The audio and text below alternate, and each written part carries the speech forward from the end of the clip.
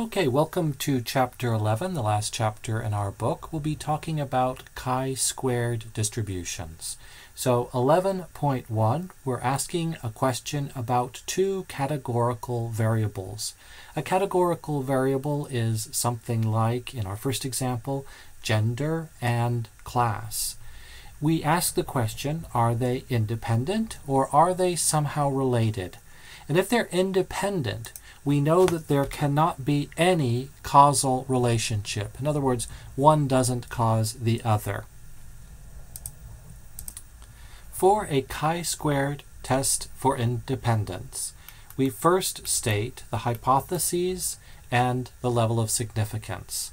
The null hypothesis is that the two variables are independent, and the alternative hypothesis is that the two variables are in some way dependent. Our assumptions are that we've got a random sample and that we've got at least five of all of our observations. The test statistic and the p-value come in step three. The test statistic is chi-squared, and it is used to calculate our p-value. As always, if the p-value is less than alpha, we reject the null hypothesis in favor of the alternative, and we say that there is sufficient evidence to support the alternative hypothesis. That is, the categorical variables are dependent. Otherwise, we say there's not enough evidence to support the alternative hypothesis. The interpretation is when we state what the conclusion means in the context of the problem. The test statistic is chi-squared. Chi-squared is a single number that captures the most important part of independence. It asks how far is the observed data away from what we'd expect if the null hypothesis is true. Now, to do this, we just take the sum of the squares of the differences, but then we have to divide out the units, that is, normalize it to make a unitless number. Here are two categorical variables for the survivors of the Titanic. The first is gender and the second is class. So the two genders are male and female, the three classes are first, second, and third.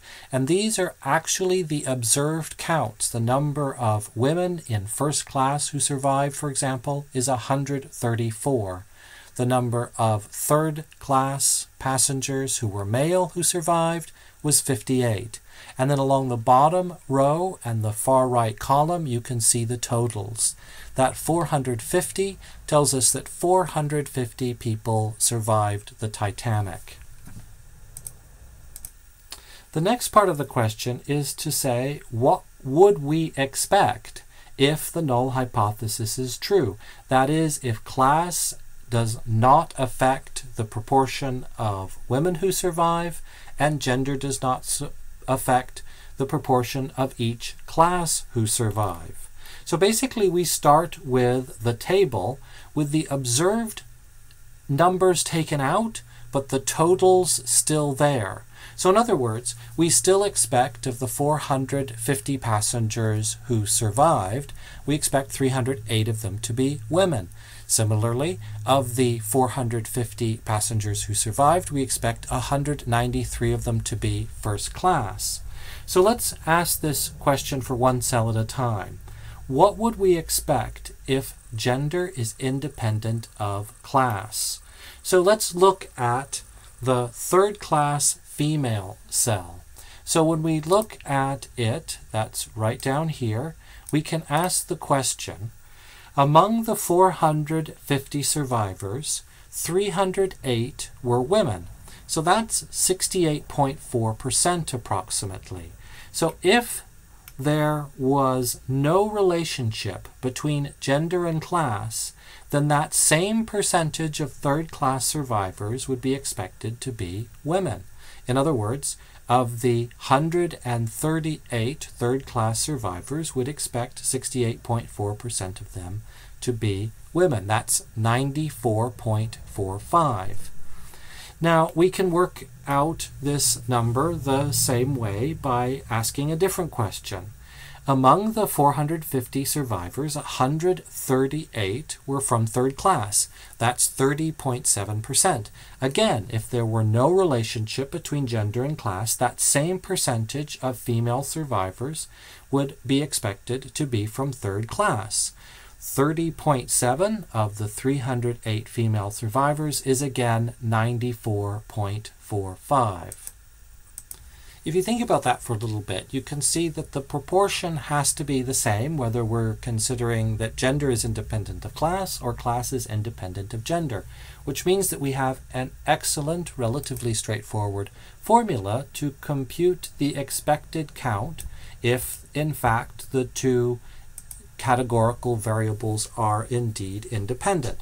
So when we go through and do that, here's our 94.4 that's the number of third class women we would expect to survive. We do that for all the numbers in the table.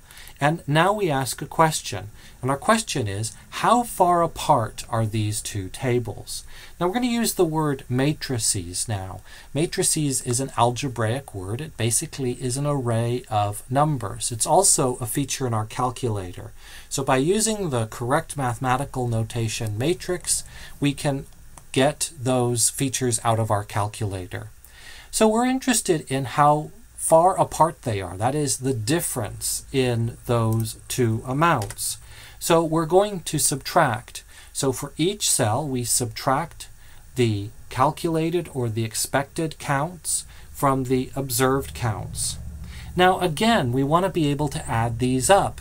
And those differences could be positive or negative. So just like the standard deviation, we need to square each one first to make all the numbers positive. And finally, we want to make it unitless. That is, we don't want it to be talking about people, we just want it to be a number. In this case, it would be people. But when we divide people by people, it becomes a unitless amount. And finally, we add them up.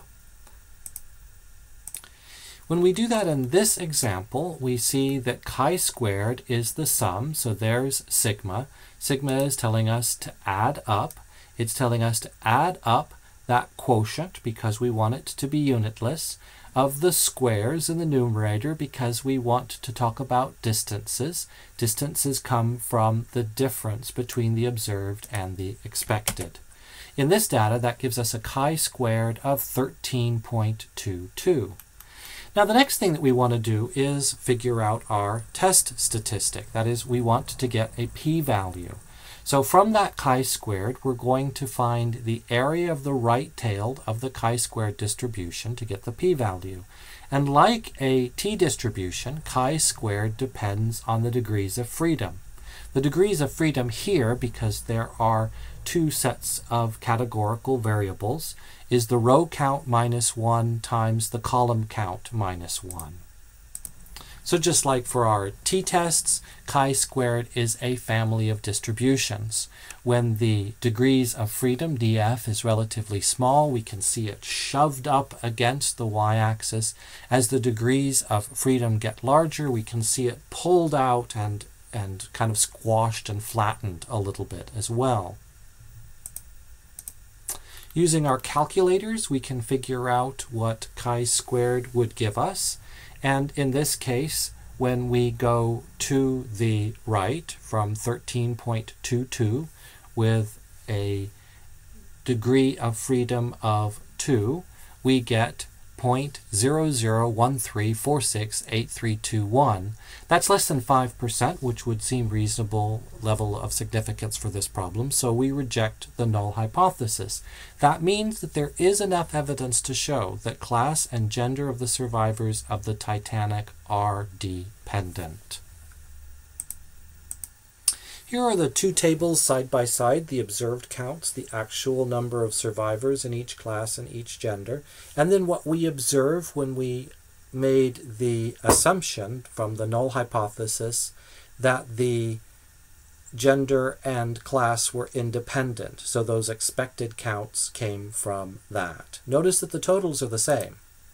Now, no great surprise, we can do this with our calculator, and it does require us to use matrices. We can edit a matrix by pressing second and then selecting matrix and going over to edit. So here's a 1 by 1 matrix, that's the default. So we're going to set the size of the matrix first as rows and then as columns. So 3 by 2 has 3 rows and 2 columns. So once we set the size, we can then enter the data. So here's that data. Notice we're not entering the totals. So the genders are the columns and the classes are the rows. We're entering this just like we saw it in the table. Once we've entered that data into a matrix, we can go into the stat menu over to tests and down to the chi-squared test. The chi-squared test expects the observed data to be in one matrix. The default is A, but you can change that to whichever matrix you put that data into, and then leave room or give the calculator permission to put the expected values in a different matrix. If you don't have anything in matrix B, then that's a perfectly fine choice. When you calculate, you'll get your chi-squared, you'll get your p-value, and the degrees of freedom. So here's another example using data we've seen before. The, this is the data collected off the coast of Ireland of observing dolphins. So here the two categorical variables are the time of day, morning, noon, afternoon, and evening, and what those dol dolphins are up to, traveling, feeding, socializing. The bottom row is a total, and the far right column is a total. Remember, when you use the calculator, you won't put in that data we're asked to test, so we're doing a hypothesis test, whether there is evidence to show that the time and activity are independent. So that will be our null hypothesis. We're also asked to test at a 1% level of significance. So our hypothesis is that the activity and the time period are independent for the dolphins and the alternative hypothesis is that they are dependent. Our alpha is 0.01. We should say that we were never told whether this sample is random, and for that reason, this may not be a valid test. The expected frequencies are all greater than 5. Go back up and you can see that, um, oh my gosh, one of them is zero. It looks like feeding in the afternoon is zero. In fact, there are two that are below five. So this assumption is not true. And the results of the hypothesis test may not be valid. So make sure in your assumption you say, we're going to go through with this, we're asked to do it, but the results may not be valid. That's probably the single most important three words in this problem. We then use our calculators to find the test statistic and the p-value. Here the test statistic chi-squared is 68.456. That gives us a p-value that is ridiculously close to zero.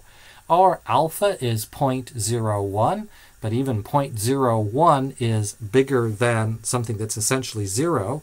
So since the p-value is greater than alpha, we're going to reject the null hypothesis in favor of the alternative.